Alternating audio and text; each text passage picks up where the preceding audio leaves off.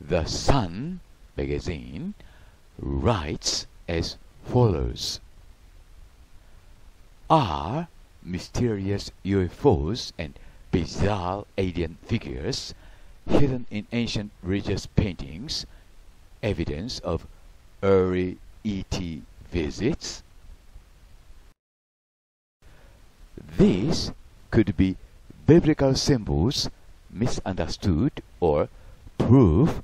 it has been visiting for a long, long time. Ancient art could show extraterrestrials been visiting Earth for hundreds of years, according to conspiracy theorists, while art historians insist, though, on the contrary, there's a more simple explanation arguing what could appear to be UFOs actually represent angels or the sun and the moon. 三氏はエイリアンは存在すると題して次のように書いています古代の絵画の中に描かれている UFO が ET たちがこの地球を訪れていたというその証拠かもしれないと。陰謀論者によると外惑星人たちはこの何百年もの間この地球を訪れているという。古代の絵画に描かれている UFO がその証拠であると。こうした見方に対して美術歴史学者たちはこうした UFO に見えるものは天使あるいは太陽とか月を表したものに過ぎないと主張している。広し林浜祭りジャパン今時 UFO なるものは珍しくも何ともありません。世界中で UFO の目撃例が何千何万と続いています。ここで注意していただきたいのはそうした UFO という言葉もない時代においてですね古代の絵画の中に今から言うと UFO らしきものが描かれているという点です。そしてもう一つ注意していただきたいことは古代の人たちは現在のようにですね、えー、通信手段も映像技術もなかったという点です、えー、つまりこういう形で絵画という形で彼らが見たものを表現するしかなかったという点です。今でこそこうした情報は瞬時に世界を駆け巡りますが当時はそうではなかったということです。そういうことを考え合わせるなら信憑性は今よりはるかに高いということになります。で私林博の方で古代の絵画に描かれている UFO もしくは UFO らしきものと現在目撃されている UFO もしくは UFO と疑われるものをこうして照合してみました。逆に言うとですね古代の絵画に描かれている UFO らしきものは現代風に言えばまさしく UFO であるということになります。さらに言えばですねでは古代の絵画に描かれているものが UFO でないというのならではそれらは何であるかということにもなるわけです。さらにさらに言えば古代よりこうした絵が描かれているということは現代私たちが言う UFO の存在を歴史的にも裏付けるということになるのではないでしょうか。そこでこの動画の中ではあのレオナルド・ダ・ヴィンチも UFO らしきものをどうやら描いていたのではないかという問題について考えてみたいと思います。題してレオナルド・ダ・ヴィンチの UFO ということになります。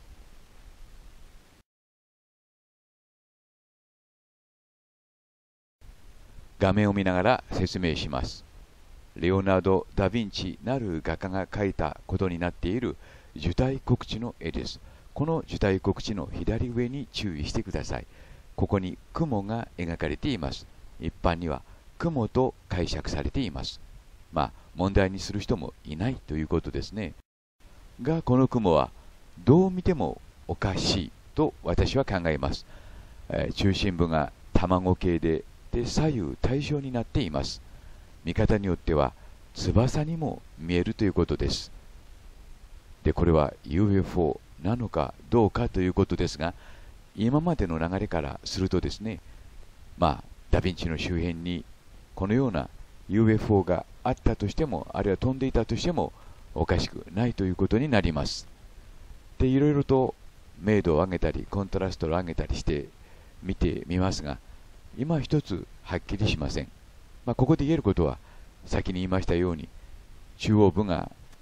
球体系であり左右に左右対称の翼のようなものが描かれているということです。これは UFO なのでしょうか？それともそうではないのでしょうか？もう一つ怪しげな絵をご覧いただきます。アントレア・デル・ベロッキオとレオナルド・ダ・ヴィンチの合作とされるイエスの洗礼の絵です。この右上の方に奇妙な鳥が描かれています。この鳥に注意してください。こんなところにこんな鳥が描かれていること自体がまあ不自然といいますかアンバランスなのですけどもこの鳥の明度を上げてみますと尾羽の部分が薄くなっていくのが分かります。でこの鳥なんですけどもこれは鳥なのでしょうか？あるいは鳥というのはこのような飛び方をするものなのでしょうか？まあ右の翼は見えますが左の翼は見えません。そして足も描かれています。で実際の鳥と比較してみます。でどうもおかしいんですよね、まあ、どうおかしいかは皆さんご覧になっている通りですけども鳥なのか鳥でないのかということになるわけです。で私はこれは UFO ではないかと考えています。この鳥の尾羽の部分を取り除いてみます。するとそこに私たちが UFO と呼んでいる、まあ、物体の形が浮かび上がってきます。つまり逆に言うとですねレオナルド・ダ・ヴィンチなる画家を通して1500年後のイエスはここに UFO を描きたかった。がしかし露骨には描けなかった。そこで鳥にカモフラージュしたのではないかと。このイエスの洗礼の中にはいくつかの騙し絵隠し絵が仕込まれています。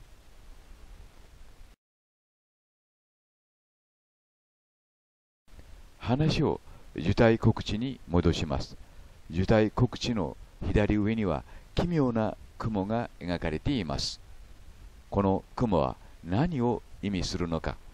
まあ、ここだけを見ていると雲かなということになるのかもしれませんけれどもまあ今までの流れからするとどうやらこれは雲ではなくて私は UFO ではないかと考えています。つまり意味のないものを1500年後のイエスは書かなかったということになります。このもやもやとした部分に注意してください。で比較してみます。その下がイエスの洗礼の中に描かれている奇妙な鳥ですでこれは UFO ではないかということですね。で形を照合してみますと、まあ、現在いろいろな UFO が報告されていますけども、まあ、UFO の中でもですね空飛ぶ円盤型の UFO ということになります今風に言えば珍しくも何ともない UFO ということになります。そしてまあ私はこの UFO に大変よく似ていると判断しました。一方受胎告知の中の雲ですが私はこれは V 字型の UFO ではないかと判断しました。写真はデスバリーで写真に撮られた UFO です。そしてこれがハドソンバリーで写真に撮られた UFO です。機体の周辺がもやもやと雲のようになっている点に注意してください。見る角度が違いますから同じようには見えないのかもしれませんけれども上は正面から見たところ下の右下はですね側面から見たところということになります。V 字型でもやもやしている。まあハドソンバリーで写真に撮られた UFO と比較するとですねいわゆるまあ受胎国史の中に描かれている、まあ、この雲のようなものは UFO ではないかということになりますあくまでも今の段階ではそのように見えるというだけの話なのかもしれません。Bye for now.